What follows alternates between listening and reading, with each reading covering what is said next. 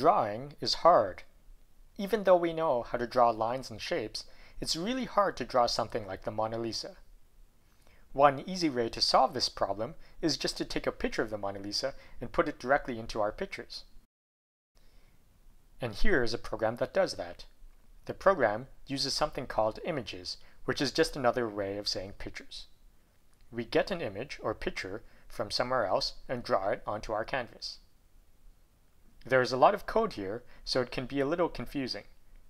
To understand this program, you should think about it as three different parts.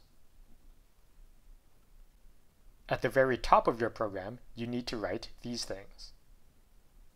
At the very bottom of your program, you need to have these things. And then in the middle, you have your actual commands for drawing the Mona Lisa. So let's see what these commands do. The first command creates a new image and gives it the name A. So this image A is the picture we eventually want to draw on our canvas. Then we say which image we want to use. Here we are telling the computer to use a picture of the Mona Lisa from the internet. This messy set of letters is the location or address of a picture on the internet. It's just like the web address that's always at the top of your web browser. Then we need to wait a bit. The computer needs to go to the internet and grab the image, and that takes a little bit of time. So you have to wait a little bit before the computer is able to draw them. And then you tell the computer to actually draw this image. Here we use the draw image command. We write c.drawImage, then a, the name of the image that we loaded, and then the position of where to draw it. And with that, the computer will draw the Mona Lisa. Now, I know this program is rather complicated. To help you understand it, I'm going to show you how you can modify the program in different ways to do different things with images. Let's say we don't want to draw an image of the Mona Lisa. Let's say we want to use a different picture instead. All we have to do is change the address of the picture we want to use. Right now, we're using a file called mona.jpg. If we want a different picture, we can cross out the mona.jpg and put in the address of a different picture file. Here, we'll use ella.png, which is the address of an elephant picture. So now the computer won't draw the Mona Lisa. It will draw an elephant instead.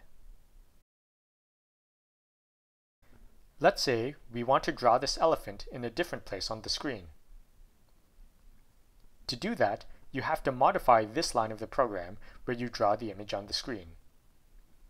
What you want to do is just change the position of the elephant to somewhere else. So right now, we draw the elephant at position 100, 50. This means that if you start in the upper left, the elephant is 100 pixels to the right, and then 50 pixels down.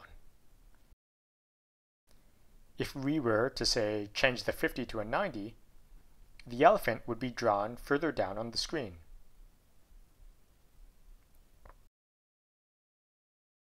Finally, what do we do if we want to have two different images? To do that, we first take this code, which creates an image with the elephant picture. Then, we'll make a copy of that code. But you have to change some things in the copy. In the original code, we made a new image and renamed it A. For our second image, we'll name it B instead. And we don't want to use the same elephant picture. Instead, we'll use the Mona Lisa picture from before. Then, we'll take the command for actually drawing the elephant. And we'll make a copy of that code as well. But instead of using image A, which is for the elephant picture, we'll use image B, which is for the Mona Lisa picture.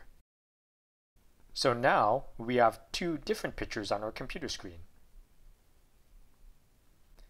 Sometimes, when you run these programs for the first time, the computer won't draw anything on the screen. This happens because we told the computer to wait, but we didn't wait long enough for the computer to finish loading in all the pictures. If that happens, you can click on this Run button, and the computer will try loading the pictures and drawing things a second time. So go ahead and try drawing some images on your computer screen. Remember that your program has to have three parts. You need some code at the beginning of your program for loading the images. You need this funny symbol at the end of your program. Then you need your actual program in the middle with your c.drawImage for actually drawing things. So far, I've only shown you the elephant and Mona Lisa pictures. But here, I've put up some other pictures on the internet that you can use in your programs as well.